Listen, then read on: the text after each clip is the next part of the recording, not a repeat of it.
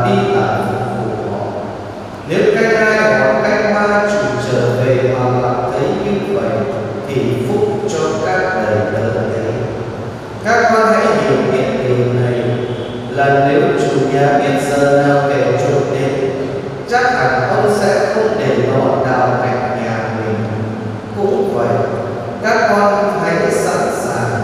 vì vào chính giờ các con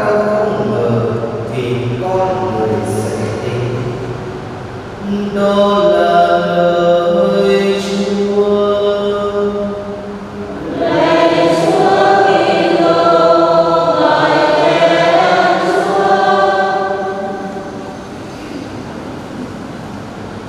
Kính thưa và anh chị em thân mến, lời Chúa Giêsu Kitô nhắc nhở cho các môn đệ cũng là nhắc nhở cho những người tin vào Chúa, đó chính là tỉnh thức và sẵn sàng. Tỉnh thức và sẵn sàng là hai yếu tố quan trọng trong đời sống thường nhật của chúng ta, bởi vì chúng ta rất dễ dàng bị những thứ bên ngoài đánh lừa. Và những lời của bài đọc một cho chúng ta thấy lời trích sách khôn ngoan dạy cho chúng ta sự quyến rũ của những thú vui phù phiếm rất dễ dàng lôi cuốn chúng ta rồi những cơn lốc của dục vọng sẽ làm điên đảo tâm hồn của chúng ta con người của chúng ta khi Thiên Chúa tạo dựng lên thì khởi đầu là tốt lành. Nhân chi sơ tính bản thiện, khởi đầu con người của chúng ta được sinh ra là tốt lành. Tuy nhiên, trải qua cuộc đời phong ba bão táp,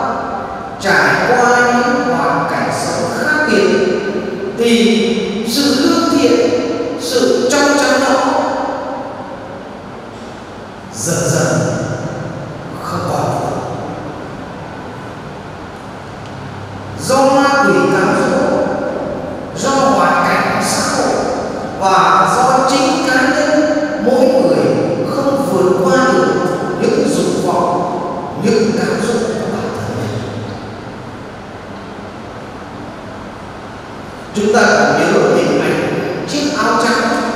khi lãnh nhận bi tích rửa tội ai cũng được khoác tấm áo trắng các em bé nhỏ thì không biết gì nhưng những người lớn những người tân tàu sẽ được khoác một tấm áo trắng ở bên ngoài tấm áo trắng đó là biểu trưng cho sự trong sạch sự trong trắng khi lãnh nhận bí tích rửa tội tất cả những tội lỗi đều được tha, đều được tẩy sạch. Nhưng tâm áo trắng đó cũng luôn luôn cần phải được dặn lại, cần phải được giữ gìn qua bí tích giải tội. Bởi vì càng đi đường xa, càng đi đường nhiều thì tấm áo trắng đó càng đen và hành trình con người của chúng ta ở trên trần gian này là hành trình trở về với Chúa. Mỗi người chúng ta là những lữ khách ở trên trần gian này. Cho nên Chúa Giêsu Kitô nhắc gửi chúng ta và nhắc nhở chúng ta phải luôn luôn sẵn sàng và tỉnh thức. Vì vào chính giờ các con không ngờ thì con người sẽ đời sống của cụ Maria có thể nói là cuộc sống như ý như ý khi mà chiều thứ năm, ông vượng có vào, ông lên xin tôi về, cha cha đi ra sửa sống cho mẹ con. Tôi mới hỏi, ông ấy là thế cụ yếu thế à ông bảo, không, mẹ con khỏe. Ông thế sao chắc giờ nhưng mà mẹ con từ sáng đến giờ cứ dục chúng con là đi mời cha sửa sống và thứ sáu nói là đào thì trong này mình được chết thế tôi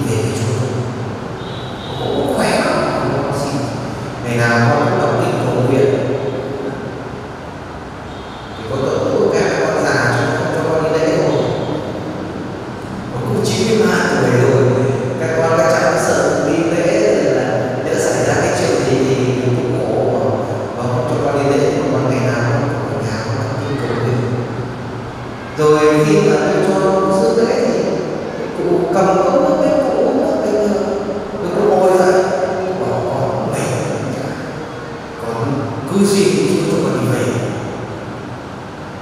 Và khi mà đi đường thì tôi với ông cụ thì vẫn cười nói với nhau còn lâu, khỏe lắm. Thế mà tôi thì đây cũng đến là người giờ đến gia đình vào. Tôi cũng thấy giận mình nhưng mà tôi thấy là điều đó cho thấy cũng có một sự bình an bình an thực sự ở trong đời và trong đời sống tôi đã chứng kiến nhiều người ốm đau và có người thì rất là khó để mà trở về với Chúa vì họ quá vướng bận chuyện thế gian. Nhưng mà cụ Maria đã thanh thản chuẩn bị tâm hồn, chuẩn bị cuộc sống của mình. Và tôi nghĩ rằng là con cái của cụ chắc là vất vả hơn cả cụ cụ rất là thanh thản không cần cụ nói là con cái con cháu họ có đi về không họ chuẩn bị chuẩn bị đi điều Chúa rất là thanh thản bình an và cái đời sống của Maria rất là hợp với bài kinh của ngày hôm nay khi mà truy sự Kitô nhắc nhở các môn đệ các con hãy thắp hương hãy giữ cho đèn của các con cháy sáng đèn ở đây là đức tin. Giữ cho đức tin của con được cháy sáng luôn luôn sẵn sàng cho bổn phận của mình. Và tôi thấy đây chính là cái bài học cho mỗi người chúng ta mỗi người chúng ta đã nghe lời Chúa nói ai trong chúng ta cá nhân cũng phải ra trước tòa Thiên Chúa để trả lẽ về đời sống của mình chúng ta không thể nào mà cậy dựa vào con cháu của mình nhưng chúng ta phải ra trước tòa Chúa để trả lẽ về đời sống của mình ở trên trần gian này và chính vì lẽ đó cho nên lời cảnh tỉnh của Chúa Giêsu hãy tỉnh thức hãy sẵn sàng hãy giữ cho đèn của các con cháy sáng là vô cùng quan trọng giúp cho chúng ta khi chúng ta bị thất vọng chán nản khi chúng ta bị những quyến rũ,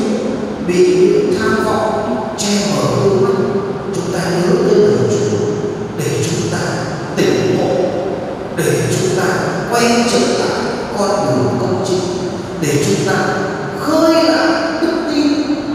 trong tâm hồn của mỗi người chúng ta. Và để mỗi người chúng ta cố gắng chung toàn những bổn phận mà Chúa giao phó cho trong ngày lễ ngày hôm nay chúng ta cầu xin với Thiên Chúa là cha nhân lành với Đức Giêsu Kitô là người phục sinh.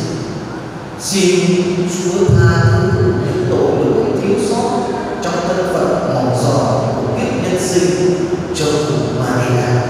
Đồng thời, chúng ta cũng xin với Maria. Khi đã trở về với Chúa thì cầu thay nguyện giúp cho các con, các cháu trung thành với đời sống đức tin, cầu nguyện cho cộng đoàn của chúng ta sống đời sống chúng ta và nhất là mỗi người chúng ta cũng xin với Chúa cho chúng ta